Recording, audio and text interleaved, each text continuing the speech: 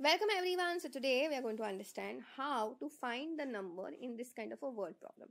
The question is 2 times the sum of a number and 3 is 70. So in this case what you will do is we'll try to write this in a mathematical form. So 2 times we'll keep it as what 2 into.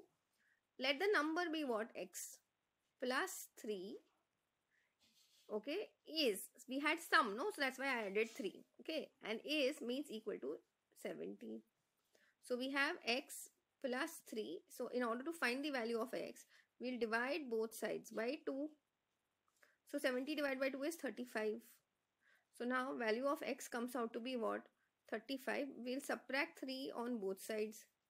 So 35 minus 3 x equals to what? 32. Okay. Now let's see whether that is the correct answer.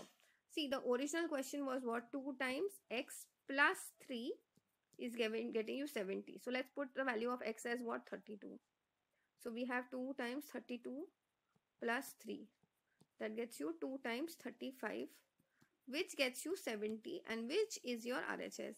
So I can say the value of x equals to 32 is absolutely correct for this particular question. That's it for today. I will see you in the next video.